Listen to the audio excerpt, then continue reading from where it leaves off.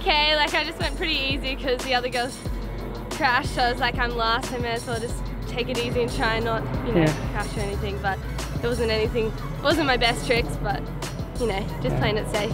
How, how do you feel though yourself? I mean, just getting out, kind of waiting all day and you Yeah.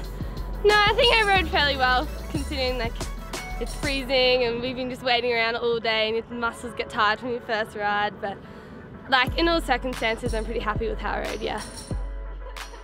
And then uh, like the air leash, did the air leash bother you at all, or did the drone bother you at all? Um, No, at first I thought it was going to. It kind of made me a little bit worried that something was going to film me in my run, but uh, once I got out there, I completely forgot it was there.